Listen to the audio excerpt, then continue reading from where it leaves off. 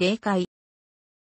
霊界は死後に霊ないし、それに類するものが行き着くとされる世界。死後の世界。精神の世界。非物質世界。霊界という概念は、古今東西に存在するが、それが意味する内容は、個々人や信仰、宗教的立場によって極めて異なる。一般に霊界といった場合は、前者の意味で用いられることが多く、あの世、後世、死後世などの表現でも呼ばれている。伝統的な宗教の中には、死者が存命中に、この世で行った善悪の行い信仰心などに、応じて、行き先が天国と地獄に分かれるとするものもある。また近年では、霊界は、階層上の世界であり、魂の状態に応じてふさわしい層に行くとも言われるようになった。霊や死後の世界という概念が歴史に登場したのは実に6000年以上前の古代エジプトの時代まで遡る。古代エジプトのヘセプーチ王の棺に死者の書が描かれている。古代のエジプト人たちは、霊魂は死後、バーという鳥の姿になって、肉体からあの世に飛び立ち、あの世の楽園、R で永遠の生を送ると考えていた。古代ギリシャの哲学者ではプラトンが霊界が存在していると述べ、あの世の様子についても語った。不可知論の立場では、死後の世界については、あるにしてもないにしても、人間の認識能力では知ることはできないと考える。インドのブッツダは死後の世界があるともないとも語らず、それよりも今苦しんでいる人の苦しみを取り除くことが先である、と述べた。こうした姿勢は、無機と呼ばれている。17世紀から18世紀のエマヌエル・スウェーデンボリは、霊界日記を記した。18世紀にヨーロッパで唯物論マテリアリズムという考え方がある程度広がったが、唯物論では物質以外は存在しないと考えるので、死後に霊が残るとは考えず、霊界の存在は想定しなかった。唯物論の立場からは、霊界という用語は、霊実在論の立場から論じられていることに過ぎない、という理解であった。1847年には、米国のアンドリュー・ジャクソン・デイビスが、自然の原理ザ・プリンジプルズ・オブ・ネイチャーという本を出版し、霊界の仕組みを説いた。1857年にはフランス人アラン・カルデックが霊の生まれ変わりや死後の世界について記した霊の書レリブレデス・エスポリーを出版した。1920年代にはイギリスのモーリス・バーバネルが霊媒役となりシルバーバーチの霊訓を伝え始めた。そこには死後の世界、霊界に関することも多数含まれていた。日本では大正昭和期に宗教大本を立ち上げた出口鬼三郎が入信状態で多様な霊界の諸相について語り、霊界物語全81巻としてまとめた。また、その宗教大本から独立した浅野和三郎は、心霊科学研究会などの霊界を探求、研究する組織を創設し、日本の心霊主義運動の父と称されている。この流れから、浅野正康、新倉岩尾、中岡俊也、三浦清志博士、角田二郎など、多数の心霊研究家が輩出されている。昭和平成にかけて、丹波哲郎が霊界に関する著書を多数出版。1989年には映画丹波哲郎の大霊界死んだらどうなるを制作、公開した。2005年頃には、江原刑事や三輪明宏がテレビ番組オーラの泉に出演するようになり、人々のスピリチュアリズムや霊界に対する関心も高まった。19世紀から20世紀にもなると、自然科学に過度の期待を寄せる人々が増え、霊界のことまでも自然科学的に立証しようとするような試みも、欧米諸国などで行われた。一般に霊界といった場合は、こちらの意味となることが多い。天井や地底、海の彼方や異次元など、別世界に死後に霊の行き着く世界があるという考え方は、古来様々な宗教や信仰に見られる。肉体が滅んだ後でも、霊、精神、幽体、意識、体などと呼ばれる、非物質的な存在が滅びずに残り、それらが暮らす、または、魂の故郷へ帰る世界とされる。伝統的な宗教では、天国、地獄、浄土、光線などの言葉でそれを呼んでいる。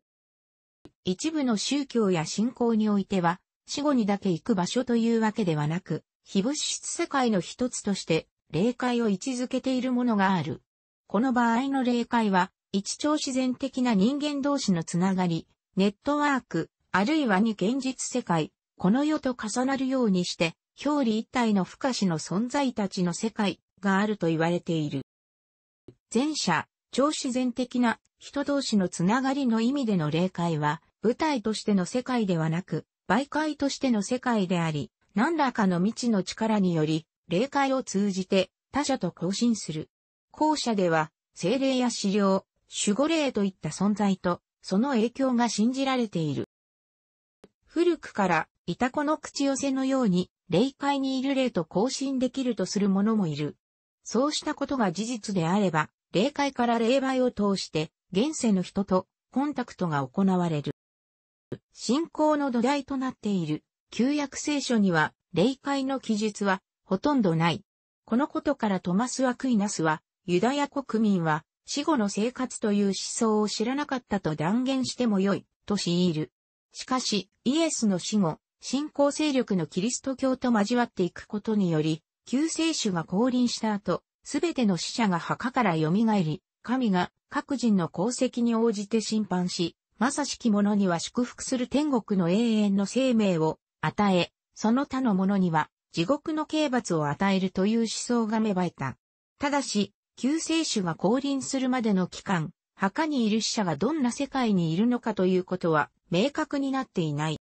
信仰の土台となっている新約聖書にはイエス・キリストの言葉として私に向かって主よ、主よというものが皆天の国に入るわけではない。私の天の父のお心を行う者だけが入るので、ある、また7時21分、もし、右の目があなたをつまずかせるなら、えぐり出して捨ててしまいなさい。体の一部がなくなっても、全身が地獄に投げ込まれない方がましである。マタイ5時29分と、天国と地獄が存在することを明言している。これに加えて、カトリック教会では、犯した罪が大きくない者が行く霊界として、天国と地獄の中間である、煉獄というものを認めている。煉獄の苦しみは、永遠ではなく、清められ後には天国に行くとする。さらに近代になると、一部の自由主義的なプロテスタントは、地獄にも煉獄と似たような性質、攻めくが永遠ではないと性質があると考えるようになった。また、洗礼を受けずに死んだ幼児は、リンボ、変国と呼ばれる地獄の外れで暮らすとされた。ユダヤ教、キリスト教と同様に、天国、楽園と地獄があるとしている。天国については、永遠の若さを保つ少年たちが彼らの間をめぐり、手に手に、高月や輝く水差し、休日の飲み物杯を捧げる。彼らは、それで、後の触りを残さず、泥酔することもない。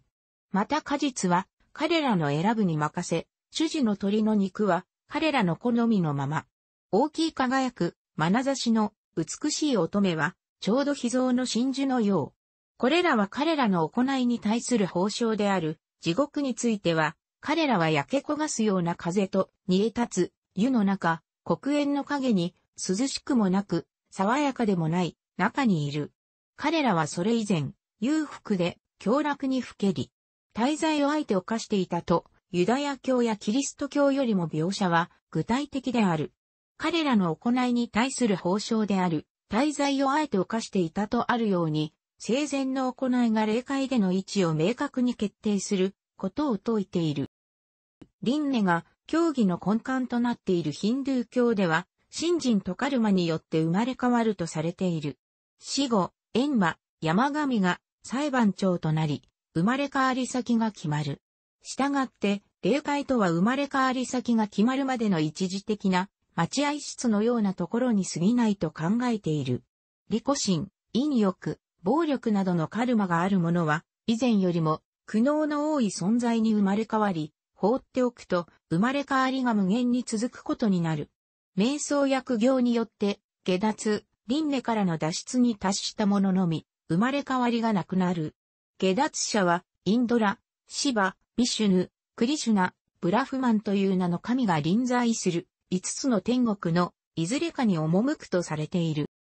アンドリュー・ジャクソン・デイビスは1847年に出版したザ・プリンジプルズ・オブ・ネイチャー、自然の原理において、霊界、霊界の構造、死後の世界について解説しており、スピリチュアリズムのバイブルとも呼ばれている。死後の世界は、霊の差別界あるいは、霊格の差別界で、肉体の滅びた魂は、有限界を経て、自分の魂と同じレベルの階層へと、平行移動していき、例の階層の決定には、現世での地位、名誉、財産等の物質的な価値は一切関係ないとも説明されている。